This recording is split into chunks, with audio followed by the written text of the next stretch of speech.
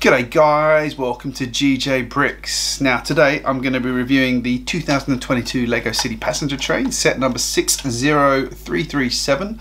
This one comes in at 764 pieces and we're going to start off by talking about one thing. This train is 25% more expensive than the previous train. And when I go through this review I want to try and sort of pick up on where that money is in this set versus the old one. Is it the new Lego markup or is it something else? You do get some extra pieces in this, like for example, it does have lights on the front. And also, there's a few other changes like it's brick built. They've gone away from the actual molded noses and actually brick built this train again, which is good. And there's one other big difference as well, which is it's longer than the last train. So everything is a bit bigger, a bit more specialist pieces to accommodate a couple of the features. And again, I'll have a look at that as I go through the review.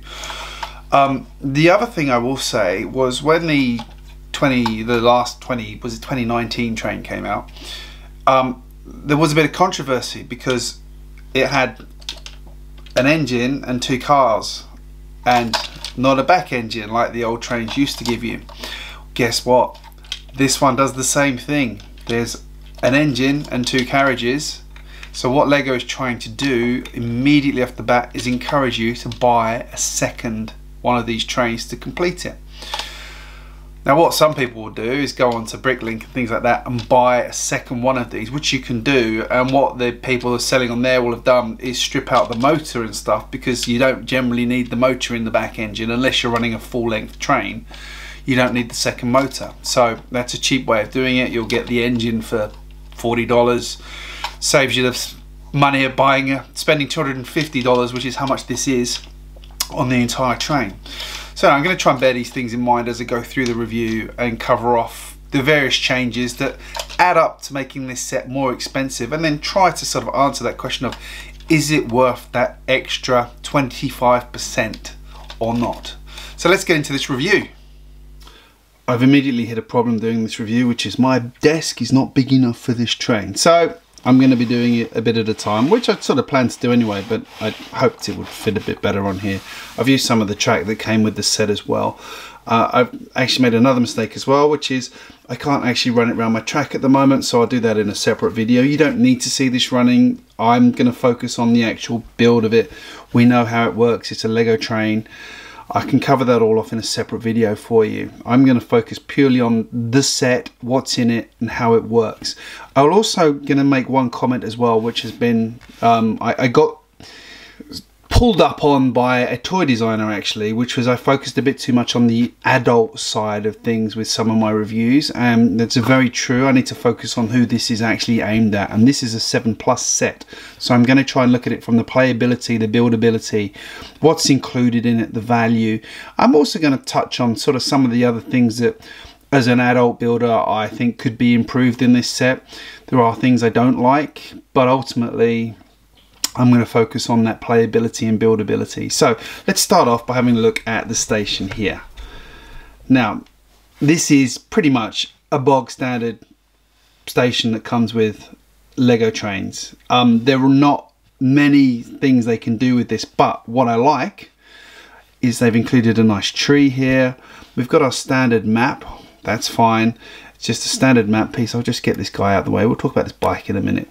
And you also get a very nicely built bench as well. This bench is really good because usually you just get some seats on here, but the fact they've actually built a bench I think is really nice.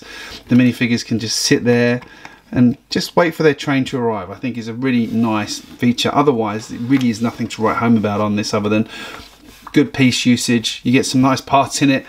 Um, perfect for waiting for the trains to come along. Good clearance.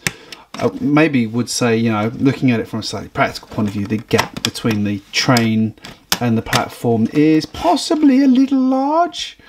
I'm not sure this little person could cover those two studs. Actually, would be three studs onto the train.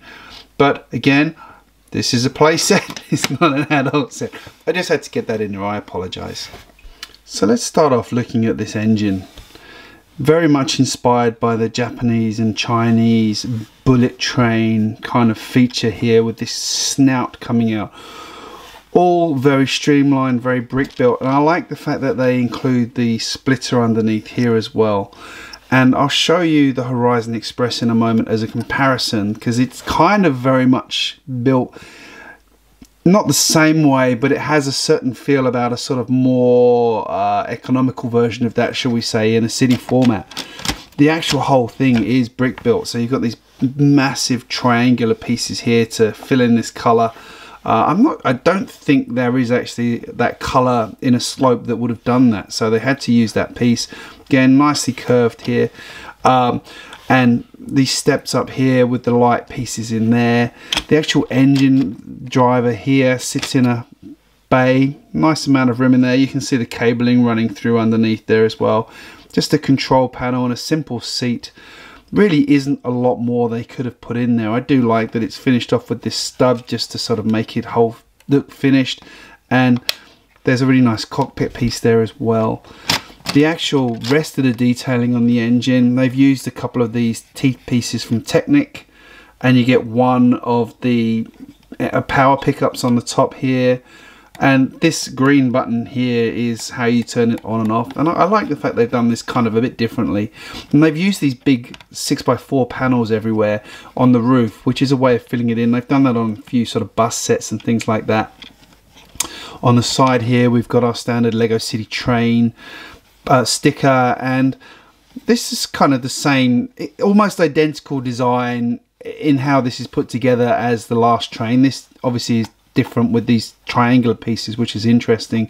So these are the two by two triangular panels which makes it you know a nice interesting finish to it. And one thing I do really like which I'll touch on a bit more with the other carriages is the way this end is done with these hexagonal you know this 45 degree piece here because it kind of has the effect of making the train it actually allows the trains to sit closer to each other and go around the corners and um, addresses a sort of bit of a problem that trains have always had, which is they can't touch each other. And I'll show you that in a second on the other carriages. So when you actually lift this out, this whole piece comes out nice and easily. And there's your battery box if you want to change it. The control box is there. There's the two cables going in. So it's very easy. It works exactly, exactly the same way as the last one. It's even got the same pieces here where these panels sit into. So it just all slots together like that. In terms of the underside here, we've got the motor and then we've got this big panel here which we've seen in some of the space sets and things like that from the last few years and then just our bog standard bogey One thing I will say as an adult builder that I've never been a fan of is the fact that on these city trains you get this nice big bogie and then a little piddly bogie. I do really wish they were the same size but that's really nitpicking. Like I'd love to see this I'd love to see it match up like to look the same. It doesn't have to be two motors, but to look the same. That would be really good.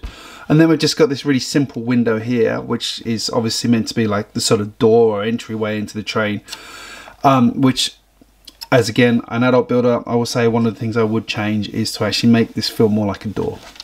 But that's it. That's my only comment from an adult builder point of view of how I would change this. I think it's actually a really smashing engine. I think it, it has a real urgency to it.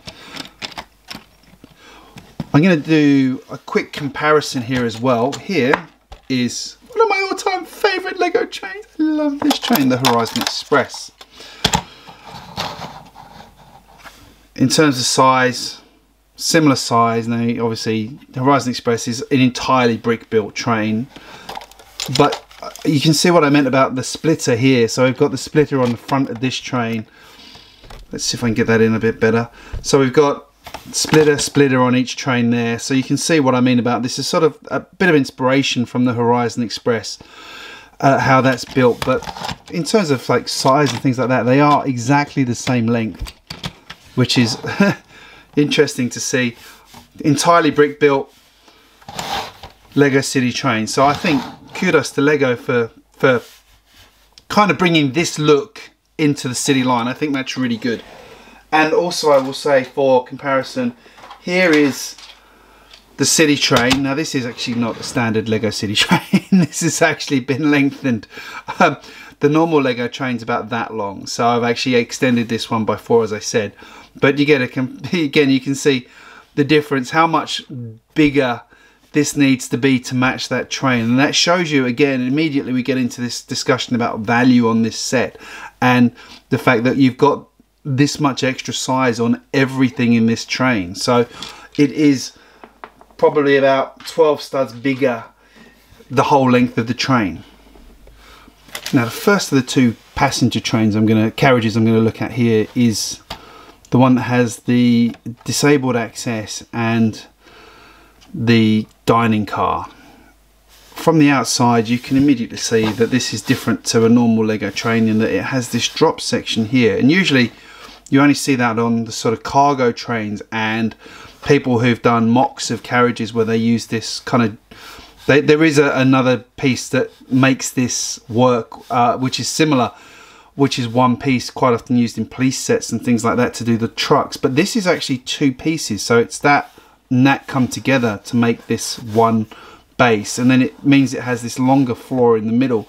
And it means that Lego could use these new door pieces which I believe this first appeared on the school the Lego City school set that's out at the moment um, correct me if I'm wrong but I believe that was where that came from.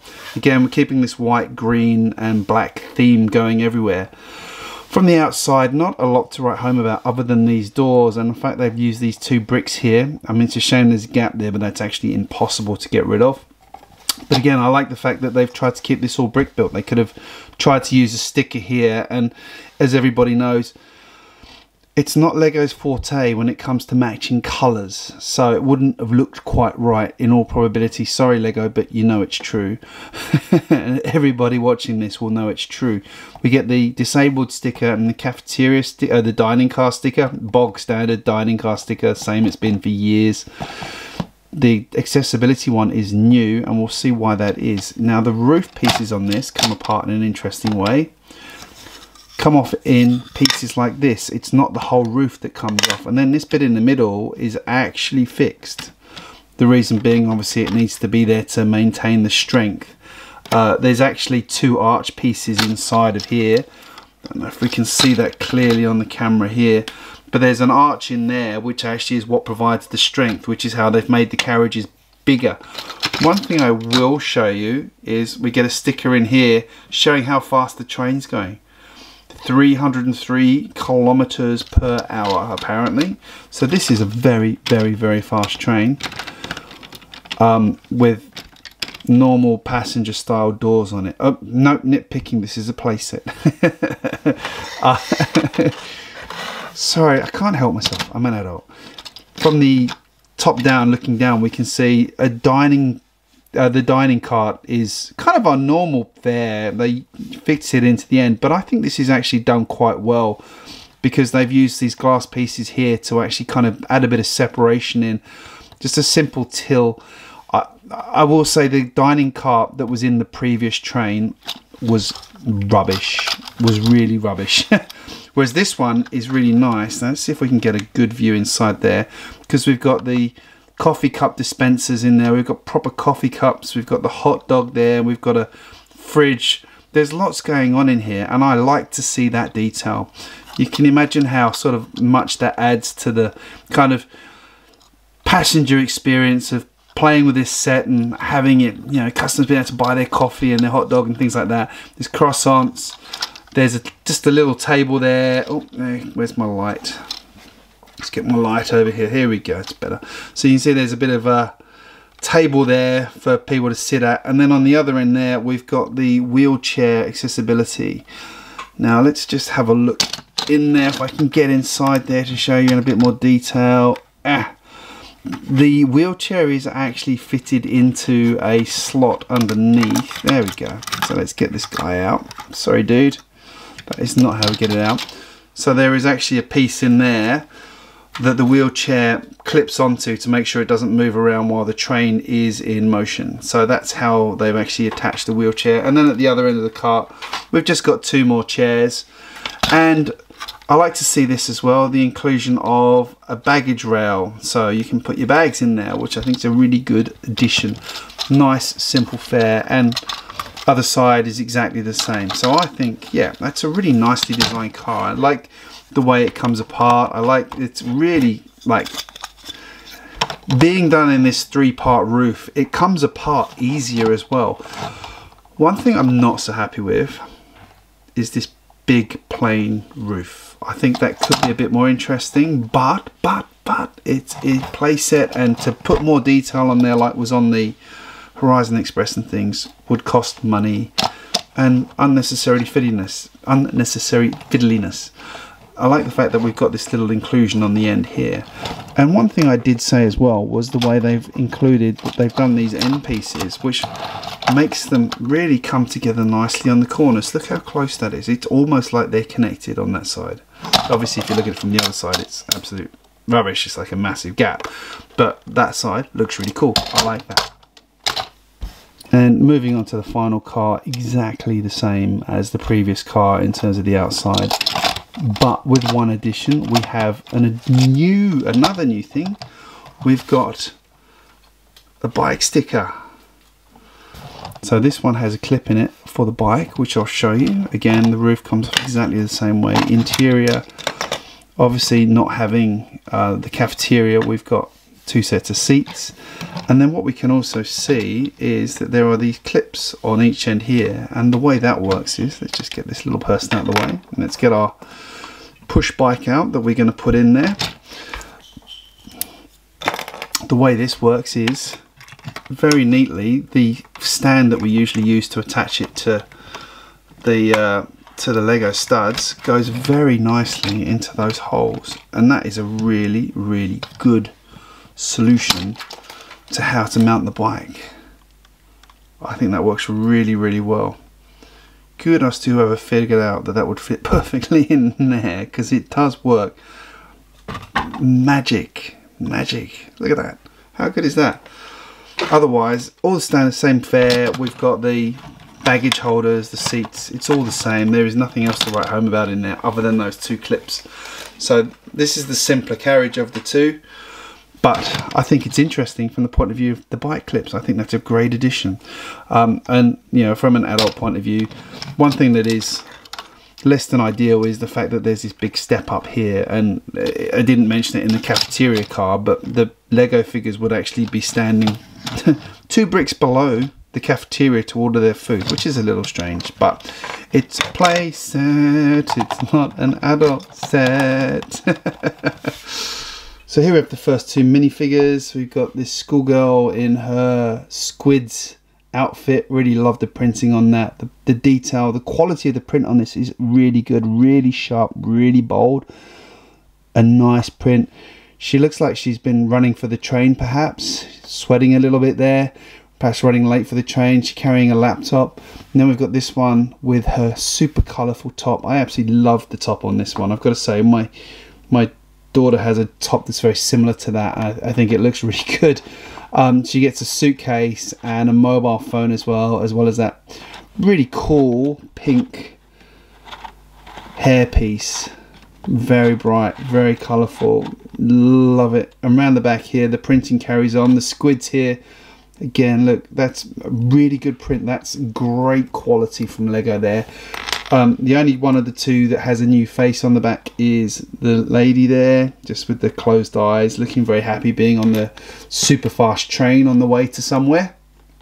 This is the wheelchair passenger from the set. You can see here he's got a backpack on the front, which is very cool. There's no visible print on there uh, I will say I love the wheelchair, very funky with the transparent wheels like that. The green, the grey goes together very, very well. Lovely hairpiece going around the back. Does have printing on his outfit as you can see. He's got the checker there, again very well printed. The printing quality in this set generally is very, very good. There's no secondary print on the face for this one but again like the wheelchair is an excellent piece. We've seen that around in the green as well. I don't think I've seen the green wheels before like this. I've seen this one but not that one. And what a great combination. I think this is a very cool very well done character for the set.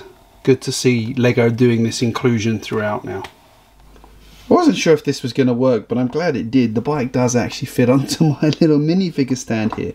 So we've got the bike rider here in their out mountain biking top there. Lovely bright colors a really good orange. Again nicely printed. Not sure about the face that's on there. Looks like it's been really struggling to ride up a hill or something like that. I love how it comes with the headpiece and this bike. I really like the design of this bike. I'm, I'm got this on here. The way they've sort of included the the panniers at the back here is really good and she's got a nice bright light as well which is good to see more cyclists need light on their bike, I'm afraid. I'm a cyclist, I wear lights on my bike, I can make this comment. There are more cyclists who need to be careful with what they wear. Now, she does have a secondary face, as you can see, which comes down below the bike helmet, which is a little bit strange. But there we are with the normal face. So, yeah, it looks odd, but around the back again, the quality of the printing on this is excellent. Excellent, excellent, excellent. And how good is that bike? I love that bike. Just gonna spin around that bike again. I think that's really, really cool. And then last, but by absolutely no means least, our two train workers here. The driver on the left and the dining car lady on the right. And again, the quality of the prints. Like, I just love how bold and sharp the black lines are everywhere. That's really nice, hard to get right, and to actually have this like little creases everywhere coming through so sharp and well. Perfect, really, really good. Got our little tickets in here. They've got their name badges on there as well. Nice tie. He looks really happy to be driving a 303 kilometer per hour train. She looks really happy to be working in the dining car serving passengers at 303 kilometers an hour as well. Nothing to report on the rest of the print for those other than around the back. We've got just a very simple line again. Nothing to report there. This one does get a secondary face though. Again, nothing really to write home there. Just a nice sort of simple face again. Very similar to the other one to be perfectly honest. so, but yep, she's got two faces. That's our train workers. I think they're really good. Different colour scheme again, but it works. It works for this train. It goes well with the green. So there you have it. That is my thoughts on the 2022 train. In conclusion, I'd say I actually am much more impressed with this train in person than I expected to be. I think there's a lot to really like about it. There's a couple of things I don't like about the way some of the interior is designed. As I mentioned with this step, I find it odd. But, but, I am an AFOL. I am not the target audience for this train. This train is a playset and for that I think it does a brilliant job. I think this actually is possibly one of the most playable trains Lego has made ever for a long time if you exclude the cargo trains because the cargo trains are a lot more fun to play with because you can do things with them but in terms of passenger trains I think this is probably one of the better ones because there is so much going on inside and these special doors this whole accessible area in here I think is is great. The engine itself it's a nice design. It, uh, when I first saw it I was like ooh what the hell is that? But I think this is actually a good design and it's fun to build. It looks good. Kids will love it because it looks like it goes really really fast. Uh, as an AFOL fan I think this is a good train. I'm going to improve it make a few changes to it which I'll cover off in a separate video. Um, I know there's some other um, YouTube users who have already started to make changes to it. Um, Robin Hood Bricks is a good example. He got a second one of these and he's done the back engine for it. Things like that. So um, people are already modifying this train uh, and I'll do my own twist on this as well in line with my other trains as to how I've modified those. Um, but I, I mean I do really like that Lego has answered one of our eternal things about having doors. Doors as I mentioned. And this new specialist door. So it's a train with doors. Could they have done it better? Yep, I'll leave that up to you to decide. But yeah, I think overall, this is a really solid package for what you get. Is it worth the $250? That's the question. Is it worth that 25% price increase? That's a really tricky question to answer. You are actually getting more train than you did in the previous one. You're getting more bricks, you're getting more train it's longer it's the carriages are a lot longer than the previous train um, I think it actually is worth the extra money. But, but, you'll get it on sale. Already, I got this for 25% off. So I never paid the 250 I paid the old price for this train and I've seen it for even less than that already on Amazon so it's it is an okay value at that price. I would have liked to personally see it around 220 Aussie dollars. 250 isn't terrible for the amount of stuff you're getting allowing for Lego's price increase as well. You do get a lot of stuff in there. I mean there's you know the usual batch of minifigures. I love I love the bike that comes with it. The little train stations, you know, quite good, quite well featured. You know, it's a pretty bog standard passenger station as as usual. The interior is good, but overall, I'm happy with this train. I like it. I like it. I like it more in person than I thought I was going to. So that's what I'm going to say. I think this is good, and I think as a playset, it's fantastic, and that's what ultimately Lego is about. It is a playset at this in this theme its place in. Anyway, let me know in the comments what you think of what I just said. If you agree, if you've got this train, if you've got plans to mod it, if you think you're going to get it now, I've said that. Now I've given you my thoughts on it. I will be modifying this train and I will do that in future videos. Um, excuse me. But again, I'd love to know your comments down below. Um, do you agree with what I said? Would you change anything? Do you think it's a rip-off? Has it grown on you? Have I sold you on this train? Who knows? If you're interested, there are links down below in the footer for in the description for this video. If you're interested in buying it, it does help my channel. Small sales plug. Um, anyway, on that note, I'm going to say if you're new here, hit subscribe. I post regularly, and I will see you again very soon. Thank you very much for watching.